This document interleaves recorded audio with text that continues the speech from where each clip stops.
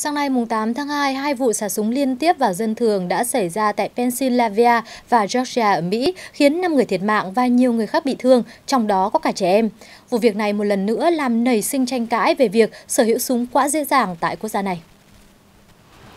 Cách đây ít giờ, một vụ xả súng kinh hoàng đã xảy ra tại một khu dân cư thuộc bang Georgia, thành phố Atlanta. Vụ xả súng đã khiến 5 người thiệt mạng, trong đó có một trẻ em 7 tuổi.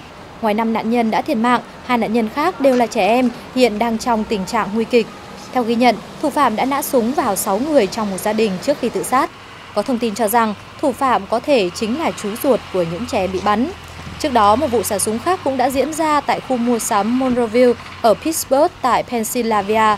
Theo đó, một kẻ mang súng đã tiến vào khu mua sắm và nổ súng, khiến ít nhất 3 người bị thương. Hiện tại vẫn chưa rõ hung thủ đã bị bắt hay đã trốn thoát.